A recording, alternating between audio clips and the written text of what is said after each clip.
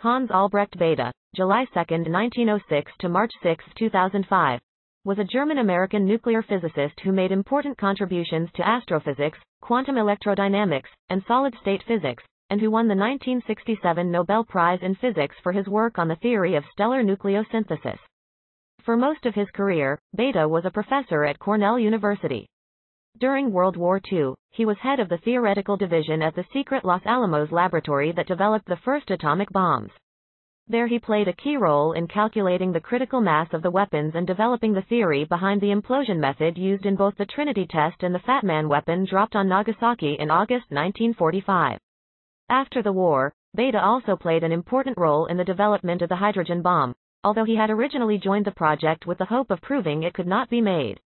Bethe later campaigned with Albert Einstein and the Emergency Committee of Atomic Scientists against nuclear testing and the nuclear arms race. He helped persuade the Kennedy and Nixon administrations to sign, respectively, the 1963 Partial Nuclear Test Ban Treaty and 1972 Anti-Ballistic Missile Treaty, SALT-I. His scientific research never ceased and he was publishing papers well into his 90s, making him one of the few scientists to have published at least one major paper in his field during every decade of his career, which in Bethe's case spanned nearly 70 years. Freeman Dyson, once his doctoral student, called him the supreme problem solver of the 20th century.